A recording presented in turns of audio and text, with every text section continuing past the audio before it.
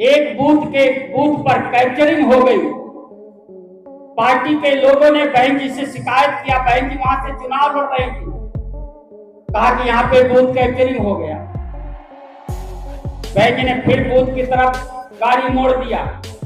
तब तक रास्ते में एडीएम मिल गया बुलंदशहर का। एडीएम से कहा कि वहाँ बूथ कैप्चरिंग हो गई, आप क्या कर रहे हो? तो तुम तरह से बात करना शुरू कर दिया एडीएम ने।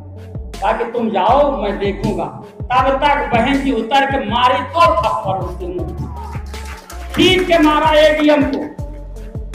आपको याद होगा कांग्रेस की सरकार थी। और उस कांग्रेस की सरकार ने बहन जी के ऊपर रास्ता लगा दिया। और यही नैनी जेल है। इसी नैनी जेल में एक महीना बहन जी बंद। याद है कि नहीं? याद पुराने